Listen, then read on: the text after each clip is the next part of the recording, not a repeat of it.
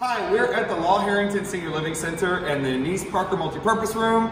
We got a little bit of flooding. We've had some burst pipes in the building, but today is really about taking care of our seniors.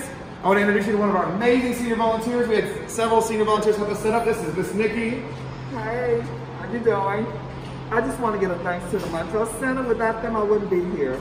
Um, this building here, I don't know who did the architect work, but it is awesome. I thank them.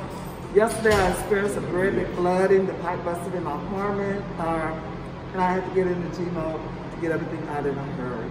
But I managed to do it by the grace of God. We want to thank all the donors in the Taking Care of Our Seniors campaign. As you can see, this is a basic emergency food pantry. You can look at some of the items. We are doing deliveries and checking in on all of our seniors. Our staff has been taking care of our seniors throughout the entire pandemic. We have a lot of seniors here at the facility and also in their homes to take care of. So look for ways that you can help help us take care of our seniors. Thank you, Houston.